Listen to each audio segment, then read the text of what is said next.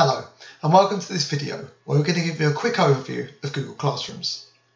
When you log into Google Classroom, the first thing that you should be able to see is the range of your classes. If you're a classroom teacher, you should be able to see all the classes that you teach plus your form class.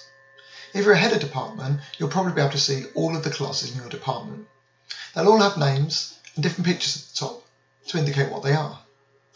If you want, you can move the classrooms around into different orders by just dragging and dropping. Selecting one of the classrooms will take you inside. When you get inside, all the Google Classrooms look exactly the same. There are four tabs along the top, Stream, Classwork, People and Grades. The first default page it takes you to is your stream.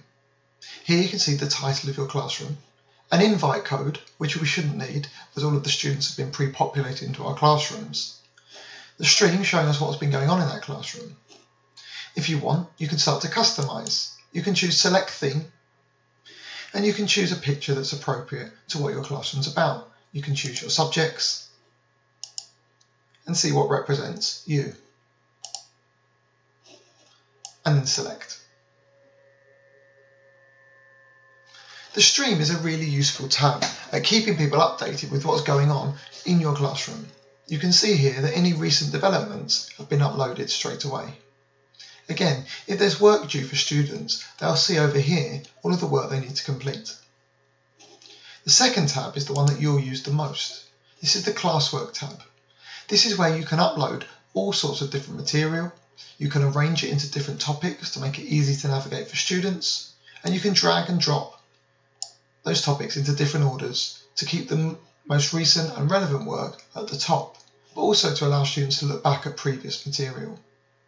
Students can also filter here by the different topics. So for example, you could arrange your work according to the different topics you teach throughout the year. The next tab is People. When you click on People, you'll see all associated teachers and co-teachers. If you share a class, other teachers will appear here. Your student list, which for us has been pre-populated, will appear here. The last tab is Grades. We're not going to spend too long on this tab now. We'll look at that once we've started setting work and what it can be used for.